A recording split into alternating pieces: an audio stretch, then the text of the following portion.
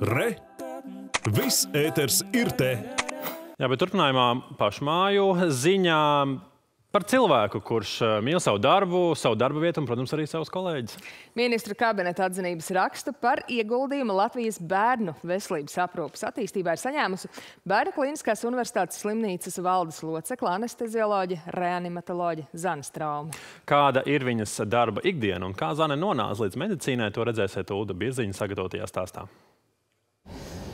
Tad eh, mēs šobrīd esam šeit, un, un, un, un šeit būs arī jaunā neatliekamās palīdzības nodaļa. Būs, uh, turpat blakus būs jauna ambulatorā daļa, uh, jeb poliklinika.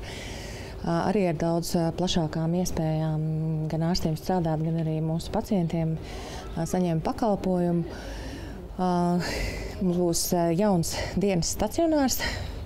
Jūs redzat šeit.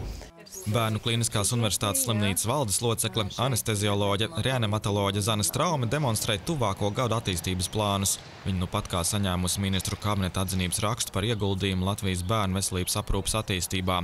Zanas ceļš medicīnā sācies jau agrā bērnībā, ejot līdz mammai uz darbu.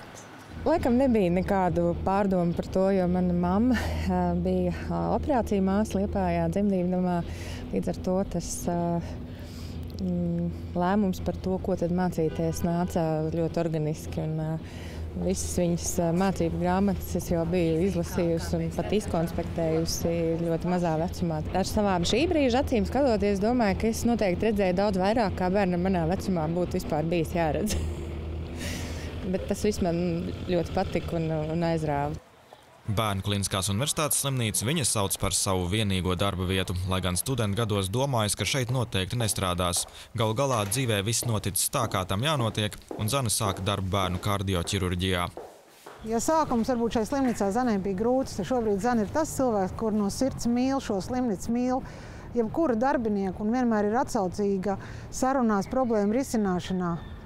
Un vēl šajā grūtajā laikā es gribu pateikt, ka Zana ir izcils Latvijas patriots no matu galiem līdz papēžiem. Viņa vispār bija man pirmais ārsts, anesteziologs, ar kuru es sāku strādāt komandā.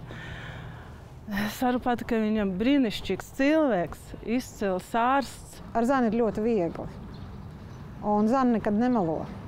Viņas tiešām godprātība, pareizais redzējums, tas ir tās lielās vērtības, kas arī ne tikai darba dzīvē, bet arī ārpus darba ir nu, man ļoti augstā vērtējuma. Lai gan šobrīd operācijas zālē kopš Covid-19 pandēmijas sākuma Zanē vairs nav izdevies pabūt, viņi joprojām līdzās saviem tiešiem darba pienākumiem uzmanīgi lasa un sako līdzi jaunākajai literatūrai medicīnas jomā. Ikdiena, protams, ka ir daudz savādāka, kāda tā ir tad, kad strādā par ārstu. Un, bet, bet es domāju, ka tas mērķis nemainās. Skaidrs, ka ir daudz vairāk papīra, papīra darbi, daudz vairāk sapulču. Bet tas, tas lielais mērķis jau nemainās. Man liekas, ka katrs cilvēks, kurš nāk uz darbu bērnu slimnīcā, neatkarīgi no tā, kādu darbu viņš darītu, vai, vai aprūpētu bērnus, vai ārstētu, vai vārītu vēstu, vai, vai, vai skaitītu naudu, vai dažādas citas darbības. Mēs pilnīgi noteikti visi nākam ar domu, kā vislabāk palīdzēt mūsu mazajiem pacientiem. Zānes traumas stāsta, ja dzīvē viss būtu jāsāk no jauna, viņa izvēlētos tieši to pašu ceļu. Tāpat kā Rīga, arī bērnu slimnīca laikam nekad nebūs gatava. Tas nozīmē, ka Zanē vēl ir daudz darāmā. Lūdzu, Birziņš, Ēriks Krāņaus, Latvijas televīzija.